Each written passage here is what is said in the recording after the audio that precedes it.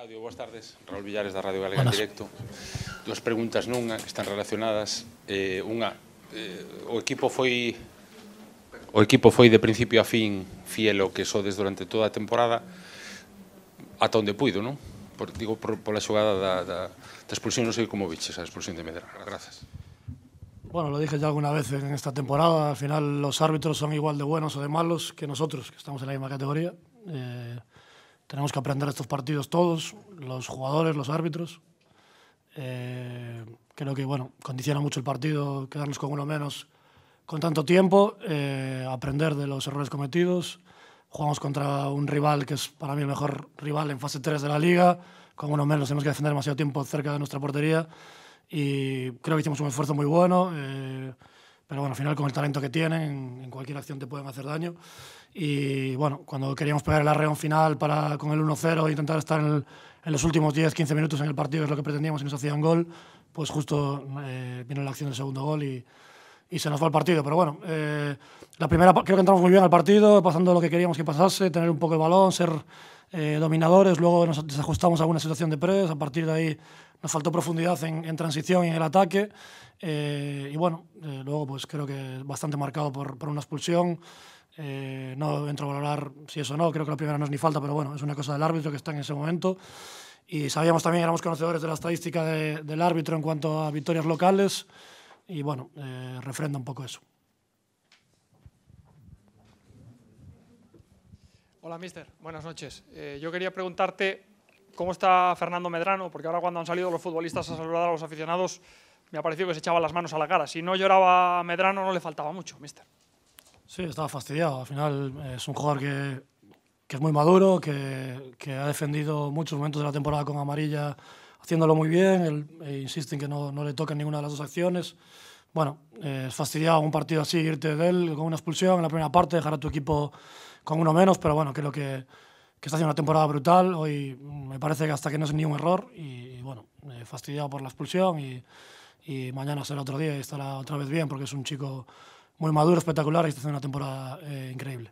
Sé que es jugar evidentemente a divino, pero teniendo en cuenta cómo había sido de igualada la primera parte y lo que ha sucedido en la segunda, con esa superioridad del Deport, teniendo en cuenta las circunstancias, ¿qué crees tú que podía haber pasado en la segunda parte hasta el final del partido si no hubiese sido la expulsión de Fernando?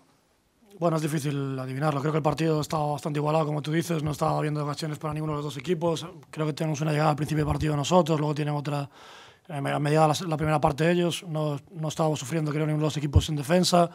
Ellos nos igualan el, el sistema a nivel defensivo, hundiendo a Villares ahí en, en línea de 5. Al final era, era o ganar mucho tiempo en el pie o coger profundidad. Empezamos haciendo daño con Carrique en, en el principio del partido, luego a partir de ahí se ajustaron mejor. Y, y, nosotros lo mismo, creo que tampoco estamos sufriendo demasiado en defensa, controlando bien los movimientos de Quiles y Soriano dentro, eh, alguna vez profundidad de, de, Lucas que pudimos defender mejor. Pero bueno, un partido bastante igualado, dos equipos que no se conocen mucho y por ahí creo que tendría el, el partido. Sabíamos que eh, este resultado con el paso de los minutos le podía hacer desordenarse un poquito más. Tuvimos la mala suerte de, de la expulsión y de encajar demasiado pronto el 1-0 y luego pues nada. Eh, muy complicado aguantar, como te decía antes, con un equipo de tanto talento en, cerca de la portería eh, nuestra y, nada, una pena, pero bueno, aprender es la primera derrota de la temporada por más de un gol. Eh, hemos estado lejos de poder sacar algo luego a partir del, del 2-0, pero muy contento con la, con la idea del equipo, con la personalidad con la que intentó jugar, sobre todo en la primera parte y con el esfuerzo que ha hecho. Y ahora pensar en, que quedan nueve jornadas, estamos quintos, que es una clasificación brutal para nosotros. Y ahora vienen dos partidos en casa que tenemos que intentar sacar para, para seguir afianzándonos en esa zona. Sí, mister Oscar Martínez, de Radio Marca en directo. Jugar para el Depor en Riazor tiene dos partes. Una la positiva, mucha gente animando, y otra la negativa, que cuanto más pasa el tiempo, más necesidad tiene de marcar el gol. Durante la semana, ¿habéis incidido en eso, en, en el equipo? Sí, hay una parte psicológica, evidentemente, que se trabaja en este tipo de partidos.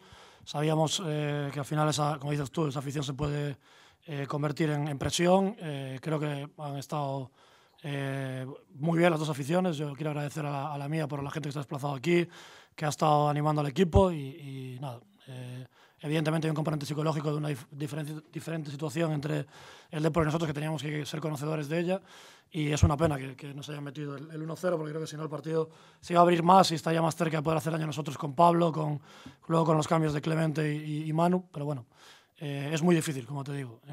El otro día lo hicimos en casa con uno menos remontar, pero es algo muy complicado y bueno, a pensar ya en el siguiente partido y a, y a ver los errores que cometimos, por los que no fuimos profundos en la primera parte y por los que se nos fue el partido. Claudio, hablábamos el, viernes en la previa del partido de que esta era tu primera experiencia como entrenador en, Riazor, ¿no? que lo esperabas con, con, expectación en lo personal, evidentemente condicionado por el resultado, pero ¿cómo ha sido para ti esta, esta experiencia?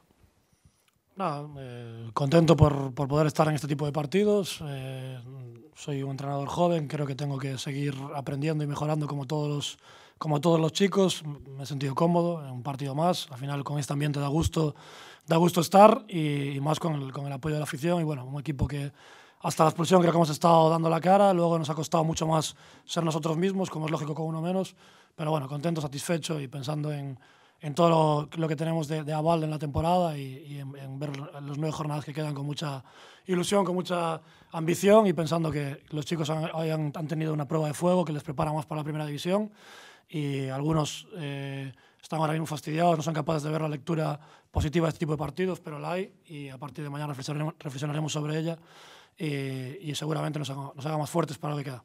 Eh, na segunda parte, incluso con un cero, ata que chega o penalti, conseguir facer os trocos e, e que o partido en algún momento fora de ida e volta. Mm. E aí é cando tivestes a, a vosa oportunidade, sin profundidade, sin ocasións claras, pero chegastes por un momento a, non sei se a creelo ou non, pero, pero sí a chegar. Sí, eh, evidentemente lo que te decía, creo que el partido se puede romper cuando está tan cerca en el resultado con equipo con uno más. Eh, nos faltó hacer un poco más de daño, sobre todo en la primera parte, en 11 para 11, en transición con, con Hugo, que yo creo que podía podíamos haberlo encontrado antes en el espacio entre lateral derecho y central derecho de ellos.